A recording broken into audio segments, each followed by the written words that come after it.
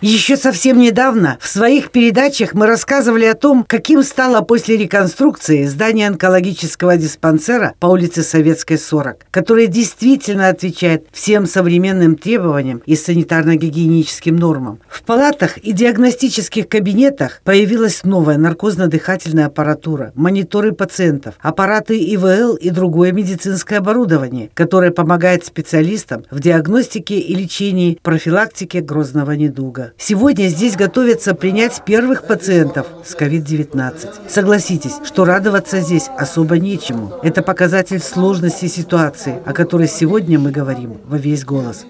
Мы находимся на пике волны. Мы сравнялись с цифрами э, первой волны, когда наибольшее количество пациентов находилось в стационаре.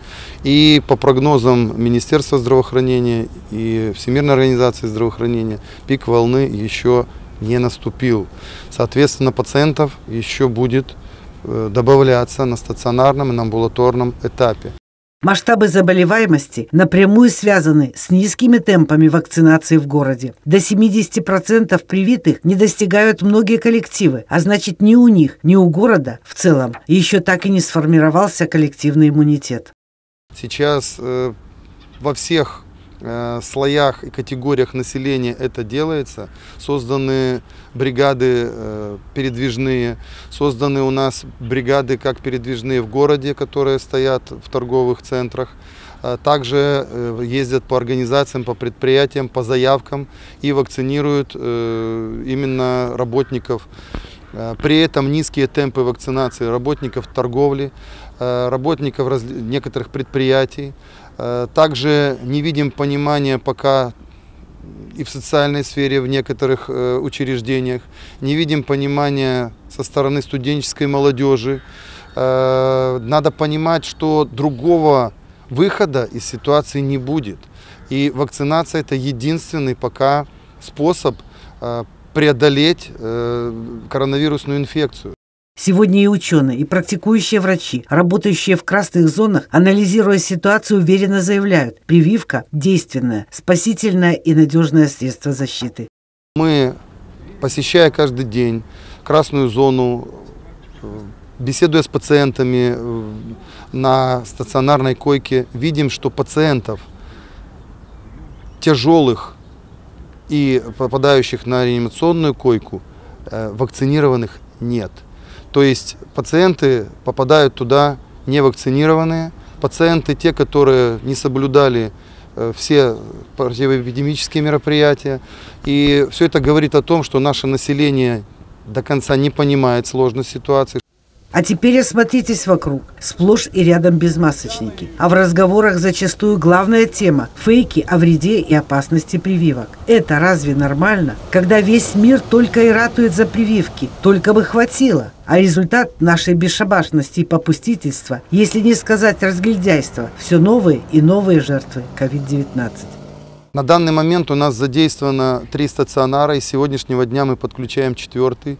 Э, центральная больница, основной стационар, который принимает на себя пациентов, она работает в постоянном режиме. И сейчас э, перепрофилировано там около 450 коек. Гинекологический стационар у нас, это гинекологический корпус на центральной, перепрофилировано 110 коек. Инфекционная больница Молотковичи, она работает в режиме пока небольшого перепрофилирования, так как данная волна, она характеризуется тем, что начали болеть и дети, Э, а дети требуют тоже контроля и ухода вместе с э, мамами. Э, соответственно, у нас больница Молотковичи сейчас больше ориентирована на детское население, так как туда свозят детей с межрайонного уровня. Теперь очередь дошла до онкодиспансера, а ведь его пациентам ох, как будет теперь нелегко. Мы с сегодняшнего дня э, подключаем в данную работу коечный фонд э, онкологического диспансера, перепрофилируя еще здесь 60 коек.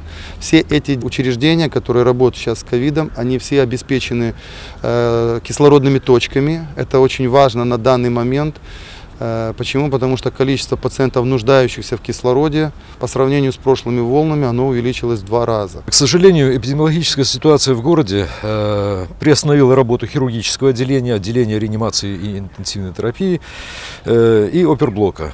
В, данное, в настоящее время эти отделения э, развернуты под инфекционные отделения для приема и лечения больных, в том числе кислородзависимых, э, инфекции COVID-19. Э, таким образом, отделение на 44 хирургические койки и реанимация на 6 коек задействованы под лечение инфекционных пациентов. Конечно, пациенты не останутся совсем без помощи, но сожалений по этому поводу все равно немало. К сожалению, это вынужденная мера, которая не позволяет нам проводить своевременные операции онкологическим пациентам своевременно оказывать помощь. Конечно, мы приняли меры для того, чтобы наши пациенты, которые нуждаются в данном виде лечения, э, отбыли на это лечение в другие лечебные учреждения э, республики и области. Конечно же, для того, чтобы эту ситуацию как-то переломить, это прежде всего вакцинация. Все знают, что все основные, главные, самые страшные инфекции побеждены с помощью э, вакцинации так и инфекция COVID-19. Поэтому призываю всех, кто еще не вакцинировался, сделать это, вакцинировать своих родственников, близких, знакомых, друзей. Это все вместе поможет нам победить э, каким-то образом инфекцию и вернуться к нормальному режиму работы нашего учреждения. Дорогие пенчане, необходимость перепрофилирования узкоспециализированных учреждений – в частности вот онкологический диспансер, влечет за собой ухудшение оказания помощи онкологическим пациентам. И когда, не дай бог, у вашего родственника или у вас станет необходимость проведения какой-то экстренной операции по онкологическому профилю, а этот стационар будет занят под пациентов с коронавирусной инфекцией, вы зададите себе вопрос, а что я сделал для того, чтобы этот стационар был свободен для оказания той помощи, которую он должен оказывать. Нужно четко осознать, если рост заболеваемости не остановить, значит само качество оказания медицинской помощи тяжело больным пациентам может пострадать, и последствия нетрудно представить. Надо понимать, что возможности здравоохранения не безграничны. И если эта волна будет продолжаться, продолжаться и повышаться заболеваемость, э, может случиться Э, большая проблема. Поэтому, уважаемые люди, еще раз к вам обращаемся о необходимости вакцинации. Это еще не поздно. Иммунитет, у нас есть ряд случаев, когда после даже перв, прививки первым компонентом человек заболевает э, через какое-то время Э, через неделю еще не образовался вроде бы иммунитет, тот, который должен образовываться в течение 42 дней, но при этом человек переболевает легко, и он понимает, что это благодаря именно вакцинации. У меня есть несколько коллег, которые сейчас находятся на больничном листе и заболели после вакцинации. При этом это несколько дней температуры, и потом переходит в спокойный режим, и люди выздоравливают. Вот вам и конкретные результаты вакцинации. Она защищает человека, сохраняет ему не просто здоровье, саму жизнь. По всей стране анализируется сейчас, кто находится на реанимационной койке, вакцинирован, не вакцинирован пациент. И пациентов на реанимационной койке вакцинированных нет. Поэтому, уважаемые граждане, если вы хотите спокойно, уверенно, если и заболеть, переболеть, спокойно, я прошу вас вакцинироваться, еще раз вакцинироваться.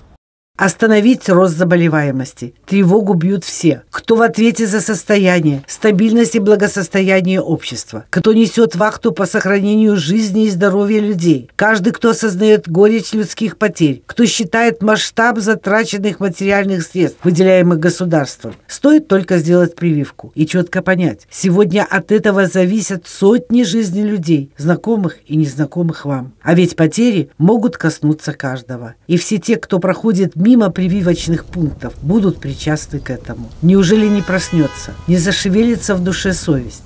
Для всех учреждений, социальной сферы или же предприятий и так далее – обозначена необходимость э, использования масочного режима, а, обработки рук, дистанцирования и правильного поведения при заболевании. Мы напоминаем, что если человек почувствовал недомогание, он должен максимально позаботиться об окружающих. Это значит дистанцироваться, это значит обратиться к врачу, это значит э, где-то отлежаться и понимать, что он несет опасность для окружающих. Это позволит минимизировать э, заражение и рост заболеваемости.